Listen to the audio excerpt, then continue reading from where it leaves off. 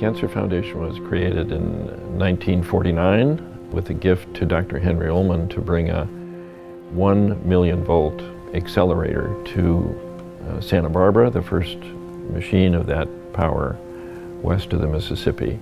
So we've been in the cutting edge since the founding of the foundation in 1949. The most important part of the founding of the Cancer Center was that it was a community-based effort. It was a group of people in our community that said, we need to have state-of-the-art cancer care here.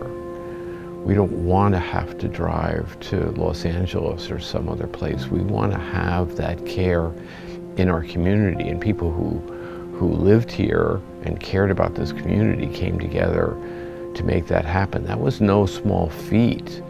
We are a destination location for attracting high talent, and we certainly have. We have doctors from Stanford, we have doctors from Harvard, we have doctors from UCLA that are the best in their field. And I think that's what makes this Cancer Center so wonderful is that we are able to attract that talent to be able to provide those services for the patients that need it most.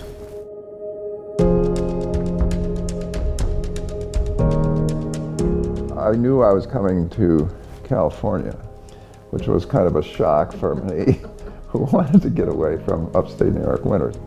One night came across an article about the Cancer Foundation and about this place in Santa Barbara that was community sponsored and, and extremely well equipped. It seemed like a perfect fit for me, and it proved to be true.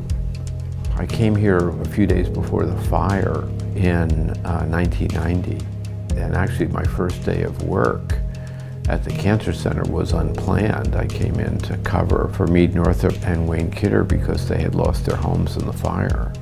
I hadn't actually come planned to work for a couple days till our daughter was born. Great thing about this interview is that I'm talking about coming to Santa Barbara when our daughter was born and last weekend she was married, so I guess it means I've been here a long time. I'm from Southern California and always wanted to live in Southern California. And I had done uh, nine years of training at medical school and residency and fellowship all at uh, Los Angeles County Medical Center. And then at that time, it was during the uh, Vietnam War, there was a doctor draft. And all the doctors were drafted into the uh, service. And so I was stationed at Vandenberg Air Force Base, which was fortunate for me and that way I got to know Santa Barbara. Santa Barbara has a lot of outstanding professional people because because it's Santa Barbara and you, I think you have to be a little cut above everybody else to, to, to make it here. What brought me to Santa Barbara, first of all, is that I married well and my wife grew up here. But primarily, this was just an, an ideal place to work. It was a community that we could imagine raising children here and loving living here. And it had this cancer center with this remarkable group of doctors. The more I looked, the more I realized what a special place this could be. And I was hurrying to get back before they changed their mind and hired someone else.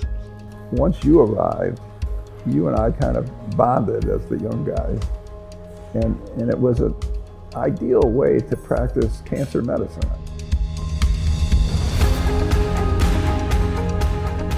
As a young physician, you look for other physicians and see how they practice medicine and to try and pick up little nuggets from one individual or another. When I arrived, uh, Doug Erickson was the medical director of the Cancer Foundation, and he was very involved in the tumor board and the Santa Barbara Cancer Committee, I believe is their name. He was a very upbeat, uh, cheerful person who is still upbeat and cheerful and in, in his 90s. He related very well to patients. And I think that was something that one could learn from him.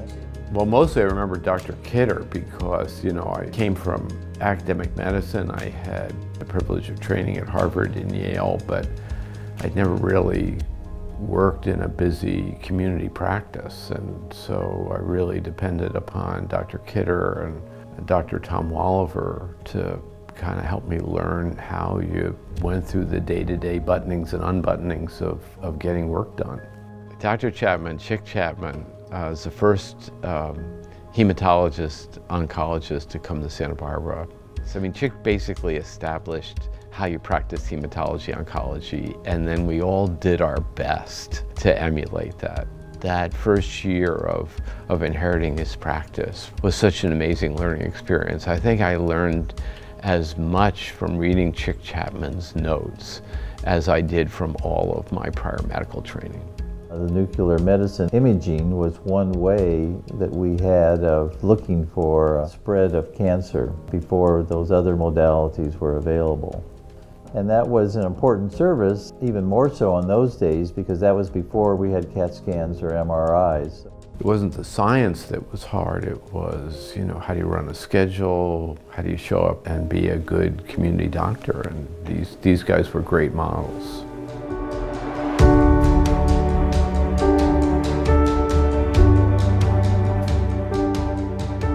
That was really the most important to me, is what my medical practice was going to be like, how much support I was going to get from the community and my colleagues, and especially this board of directors at the Cancer Center, which was comprised of a dozen folks from the community who were totally devoted to making the Cancer Foundation as good as they could make it. They raised the money, they found the space, and they brought in the equipment, and they started us on a journey. We're now, next year is our 70th year, our 70th anniversary of this process, and the community has a lot to be uh, proud of. The Cancer Foundation mission was founded on the promise that we would be able to provide cancer care to anybody in Santa Barbara County regardless of means. And so we've, we've stayed with that promise for 70 years. The people who worked at the Cancer Center were truly remarkable and the patients were remarkable. It was an amazing experience from the first day I showed up.